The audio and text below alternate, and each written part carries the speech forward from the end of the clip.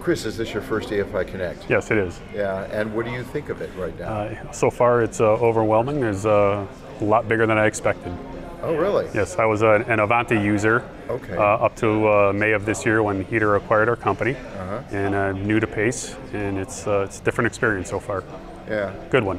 yeah. Oh, good one. How do you feel about the breadth of uh, solutions that a company like eProductivity is going to be offering? For e- from EFI, Yeah. uh, yeah, I think um, for our company it has a lot to offer, and we're starting to get into some of the estimating and uh, BHR rates that I think are going to help us tremendously um, affect our company rates. What kind of work does uh, your company tend to do? Uh, we have litho, um, inkjet with the VC70000s, roll-to-roll machines, variable data, mailing and fulfillment. All right. About how many employees are in your facility? Uh, 120 compared to three facilities. Right. Okay, that's fantastic. Yeah, we have two in uh, Canonsburg, PA, and one in Eastlake, Ohio. And what is um, what do you do? You find that the meeting your peers and uh, speaking with them is of uh, of any value?